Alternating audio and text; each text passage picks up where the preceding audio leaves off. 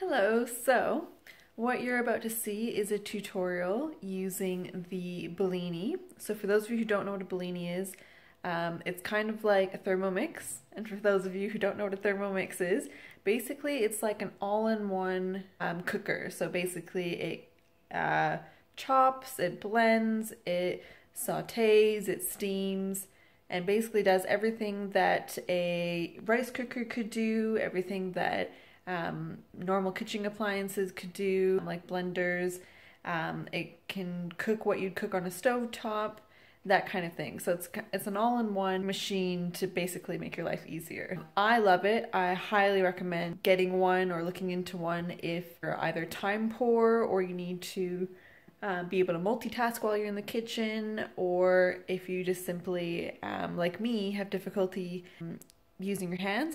I have injuries to both my hands, so I have trouble holding um, knives and I have trouble opening jars and things like that. And so anything I can do to make my kitchen and cooking life a little bit easier, um, this machine basically helps me with. So what I'm going to do is in this video and hopefully in future videos using this same intro, I'm going to show you how to cook um, a particular kind of dish in the Bellini. So I will show you the machine and then we'll get straight into today's tutorial. So this is the Bellini and like I said, it's like a Thermomix, but it's it has many parts that come with it, but I'm just going to show you the basics for today. So all you really need to know are the timer button, which as you turn this, it will adjust the time in the screen, and the temperature button, and so I, again, as you adjust this, it will adjust the temperature in the screen and then the speed button. So those are the only real um, um, buttons that you need to worry about on this machine. And obviously there's on off button to make it function. And there is the pulse button for chopping, um, which we won't need for today's tutorial. So um, the pulse button basically just makes things, chops things into itsy bitsy like grated cheese. You could do that, or you could chop up um, and easily um, shred a bunch of carrots, that kind of thing. So that's what the pulse button does. So in the machine itself, we have the measuring cup. And that is something that you keep in if you're doing something like steaming um, or cooking things and you want to keep the heat in. Then we have the lid and we have the bowl. So the bowl comes with two kinds of blades for the Bellini. It comes with these sharp blades and it also comes with blunt blades. I tend to keep the sharp blades in there because most things that I use, um, that works well. And so what we're going to be showing today is a dish that you can make using this machine and let's jump right into it.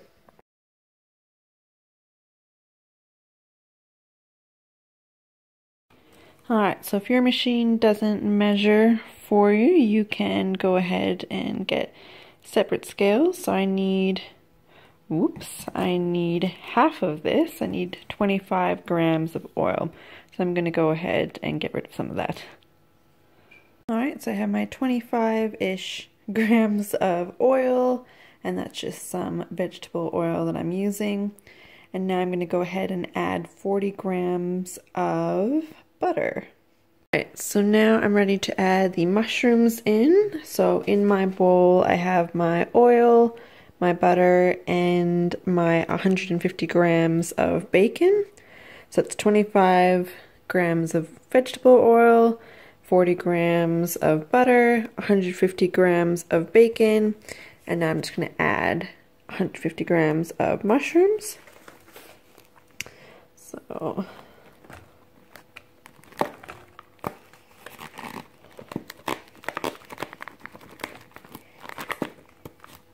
shockingly difficult with one hand. Let's see.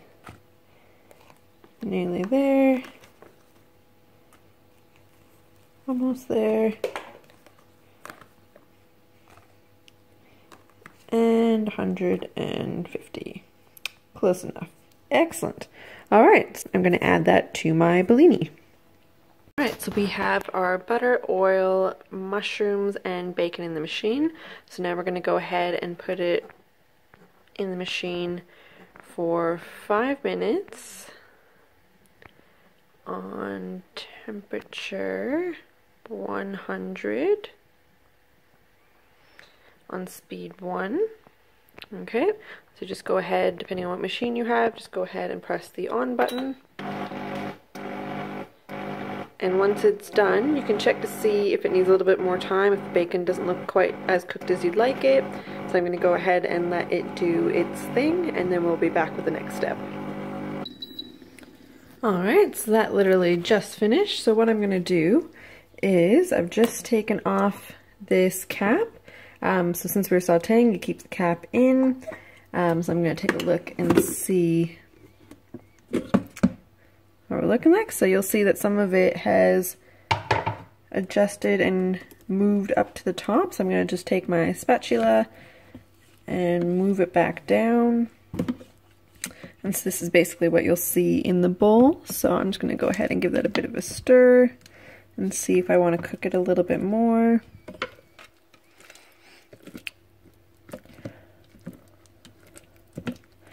Alright, well, it's looking pretty good actually, so I think I'm satisfied with that. So what I'm going to do is now I'm going to add in the next ingredients, which are cream, salt, and pepper. So I'm just going to grab those.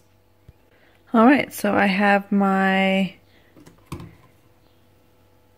thickened cream. So I'm going to use about 300 milliliters of this. So I'm just going to go ahead and pour that in.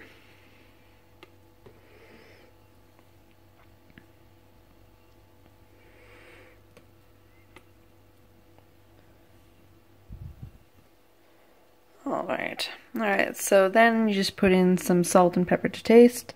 So I'm just going to do a pinch of both. And then I'm going to turn the machine on, which I'll show you in just a second. Alright, so I have my 300 milliliters of cream in there and I just added a pinch of salt and a pinch of pepper. And this time I'm going to leave the measuring cap off because before we were sauteing, so we wanted to keep the steam in. Now we are just cooking and mixing, and so we are going to turn the machine on for 20 minutes this time.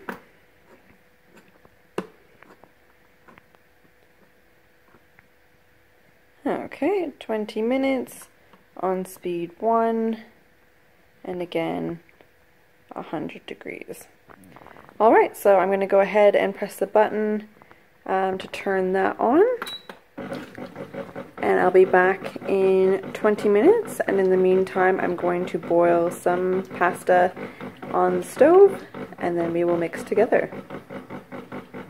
Okay, so I am currently just boiling some water for the pasta. So with this dish, you can use whatever pasta you want. It could be spaghetti, fettuccine, whatever else.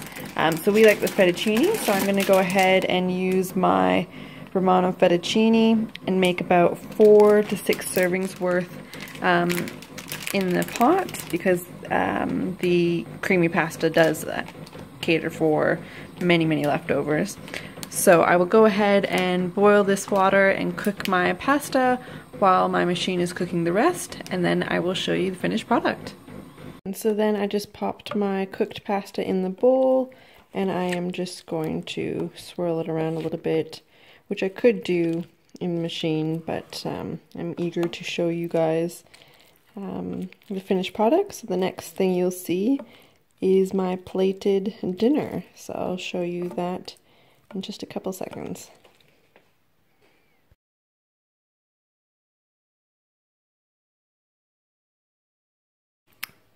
So, I hope you enjoyed making creamy pasta with mushroom and bacon with me, and I hope that shows how easy the Bellini or equivalent machine that you have is to use. And the best part of this machine is once you're done using whatever it is that you're cooking in there, um, it essentially self-cleans. So what you can do is once you finish cooking whatever it is that you are cooking in this jug, you can put some soap in there and fill it about three quarters of the way with water. And then what you can do is you can turn this to two and a half minutes. So just change that to two and a half minutes there. You can put it on speed one and on 90 degrees and that will boil the water in there with the soap and it will spin around and it will clean the jug so you can just um, turn it on, uh, pour out the dirty water and then voila, self-cleaning machine after you've cooked your dish. So I hope this tutorial was helpful and thank you so much for watching. And if there's a particular dish that you'd like to see made in the Bellini, please go ahead and comment it down below. Um, if you're looking for recipes, you can definitely type in pretty much anything that you enjoy making, like um, a dessert dish or a main meal or whatever else, and put in the word Thermomix in any search bar on Google, and you'll find endless recipes and you can follow those same instructions using whichever machine that you have, be it the Bellini, be it the Thermomix. So, hopefully this was a helpful tutorial, and thank you so much for watching. That is everything for today, so if you like this video, please click like, please click subscribe, and I will do more videos of other things you can make with your machine, um, and hopefully make your life a little bit easier. Alright, well thank you so much for watching, and I'll see you all very soon. Bye!